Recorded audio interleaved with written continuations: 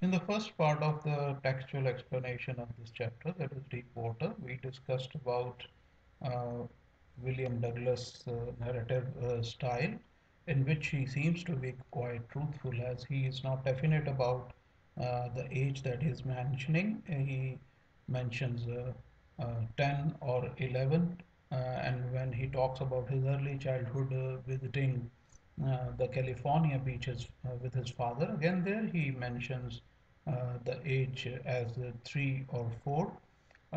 we also discussed that when he goes to YMCA pool, there he remains timid, means he was scared and cautious in doing whatever he wanted to. And his uh, uh, liking to learn the swimming uh, surfaces through this description that although he was skinny, he subdued his pride. He did not want to show his leg, but he subdued his pride, surrendered his pride, and uh, wore the swimming uh, costume showing his uh, skinny legs.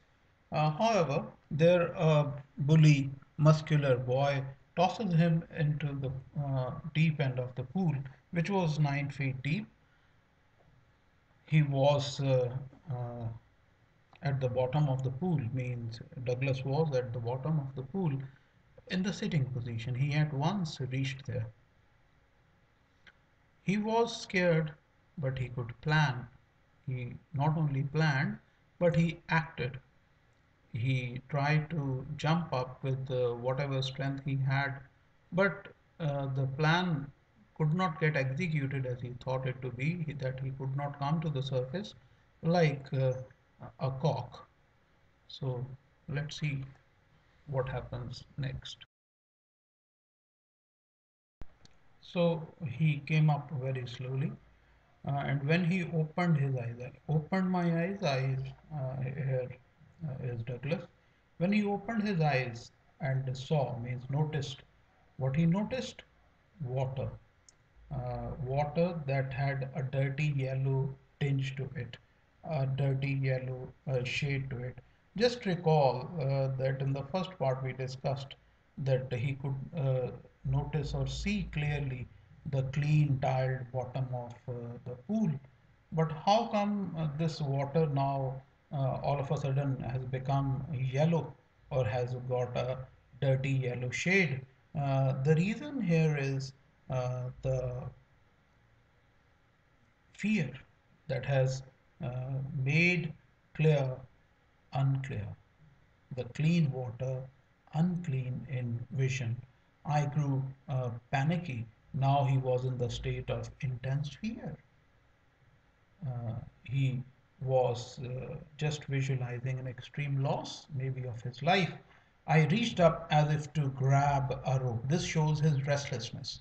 He wanted to pull some rope or anything and my hands clutched only at water but he could hold firmly only water. When you hold water firmly, what happens? You hold nothing. There is nothing in your hand.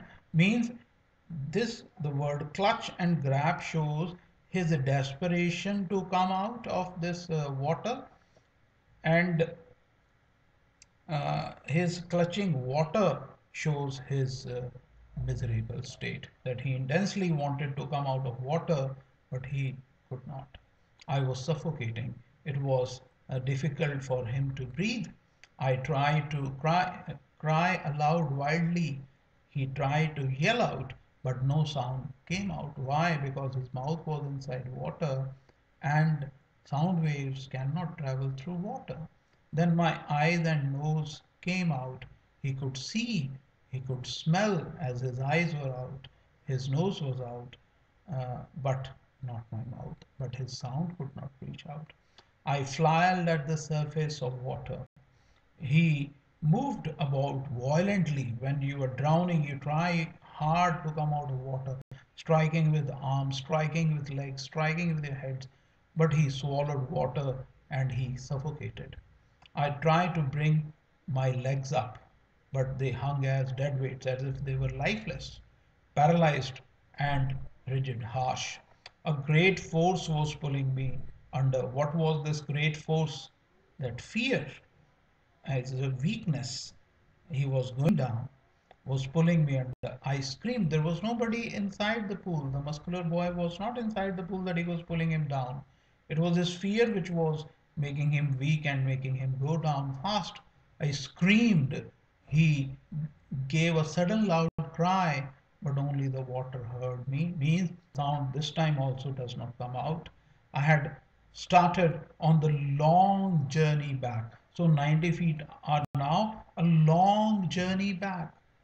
A long journey generally is of 1000 miles, but this 9 feet now is appearing to be a long journey. Means he is now in an intenser state of uh, fear. I struck at the water as I went down. So he, his long journey uh, down towards the bottom of the pool uh, was there, but he kept on persisting. He kept on striking. He kept on trying. I struck at water as I went down, expending, consuming fully my strength as one in a nightmare. A nightmare is a deeply upsetting dream. Uh, maybe you have some uh, uh, negative uh, visualization uh, in a dream, you a loss of some dear friend or of some property or of something that is very dear to you, an irresistible force, an overpowering force, a force that cannot be beaten, defeated, overcome. I had lost all my breath. He could not breathe. He was breathless. My lungs were paining. My head was beating. Okay, I was getting dizzy, means there was whirling uh, sensation. But I remembered the plan, and what was it? I would spring, jump from the bottom uh, of the lowest level of the pool and come like a cock immediately to the surface. I would lie flat on the water, uh, hit out with my arms and beat with my legs. Then I would get to the edge of the pool. Thrash is to beat, strike is to hit. Then I would get to the corner of the pool, edge, corner of the pool, and be safe. So this was the plan. That was there in his mind even when he went down for the second time. And then he said, I went down, down endlessly. So it was an endless journey downward. So nine feet, a long journey, now an endless journey. So what is he showing? The impact of fear growing deeper on him. I opened my eyes. He opened his eyes, nothing but water. Water was around with a yellow glow. What is it? Now that yellow glow has turned into dark water. The clean water has now turned into dark water. What has made it dark water? His fear. So that means when the fear was not at all there, the water was clean for him when the fear had a grip on him, it grew dirty, yellow, and now when it has the stronger hold on him, it, the water appears to be uh, translucent, means he cannot look through it. So this is how the fear impacted him so badly.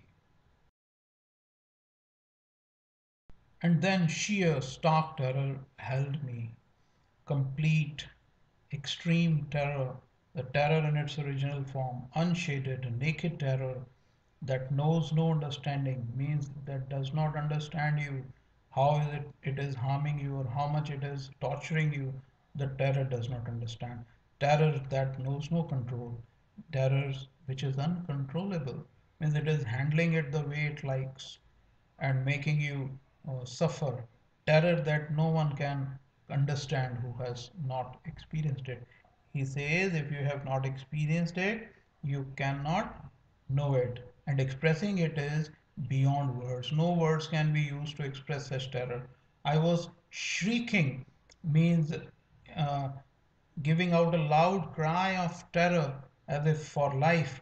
I was paralyzed and underwater, stiff, hard, rigid, not moving with fear. So this was the effect of fear. It makes you stiff, your limbs don't move. It makes you rigid, your limbs don't obey your command. You want to move your legs, you want to move your arms, but terror doesn't allow you to do that. Only my heart and the pounding in my head means uh, the contraction expansion in his head said that I was still alive. So now his limbs have stopped moving. Only his inner organs like heart and head are uh, throbbing. Said that I was still alive, not dead. And then in the midst of the terror, in the middle of the terror, came a touch of rationality. And what was it? I must remember to jump when I hit the bottom. At last, I felt the tiles under me. My toes reached out as if to grab them, to grip them. Suddenly, I jumped with everything I had. What he had a pounding head and beating heart. But the jump made no difference. He was still there in the same water of the pool. The water was still around me. I looked for ropes, ladders, water wings. So, see his persistence, even uh, under extreme uh, fearful condition, when he was almost paralytic, we have just discussed his legs were not moving, his arms were not moving. He was trying, he was uh, looking for uh, something that could save him, like ropes, ladder, uh, water wings. We have just discussed in the uh, previous lecture that what are the water wings uh, worn around arms or legs that helps children swim. Nothing but water, but there was nothing but his torment of water around a mass, a big amount of yellow water held me. Was the water holding him? Not. His fear was holding him. That was making him weak. Stark terror took an even deeper hold on me, means held him strongly like a great charge, jolt of electricity. It was shaking him. I shook and trembled with fear. He was shaking with fear, so as if he was getting electric shock. My arms wouldn't move, my legs wouldn't move. Why? They were rigid. Why? Because of the impact of fear. I tried to call for help, to call for mother. He this is his mental state that he is explaining to us. This is psychological analysis of fear. Nothing happened. Nothing positive happened. Nobody came, neither any help nor his mother. And then strangely there was light. Now there is a change. I was coming out of that awful, terrible, extreme yellow water. At least my eyes were. That means they see how specific it is. Earlier he is saying, uh, I was coming out of uh, that terrible water. Then he specifies, at least my eyes were. My nose was out too. Now he was floating on water. He could breathe, he could see.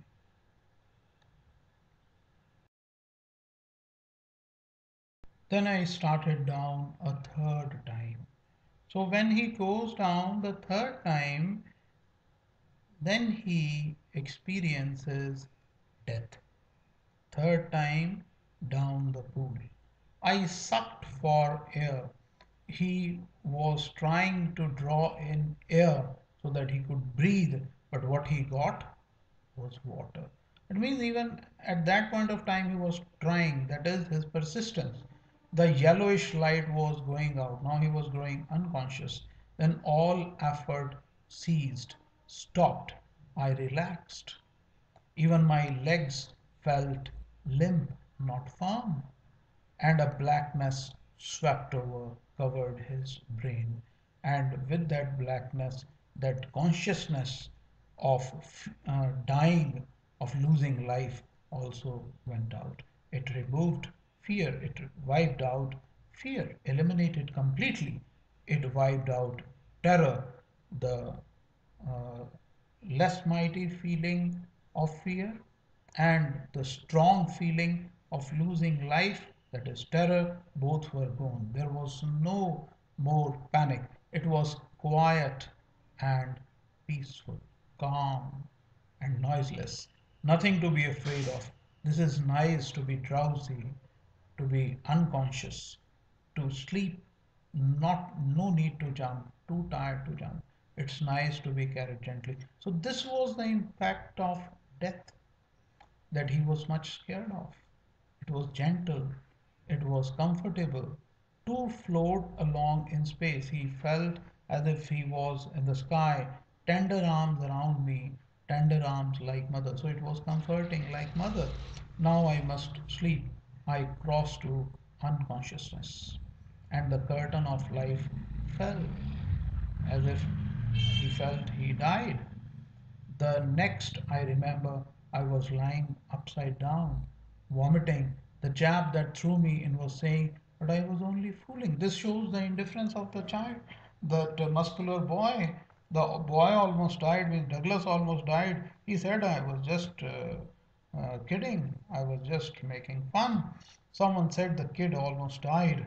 But all right, now let's carry him to the locker room. This is a room at the swimming pool to change clothes or keep your objects. On railway stations also there are locker rooms where you can keep your belongings. In banks also there are locker rooms where you can keep your Several hours later, I walked home. Means it took him several hours to normalize. Uh, fear has shaken him so much. I was weak and trembling, shaky. I shook. He was shaking and he cried when I lay on my bed. When he was at home, I couldn't eat that night. He was so uncomfortable that he uh, did not feel like eating anything.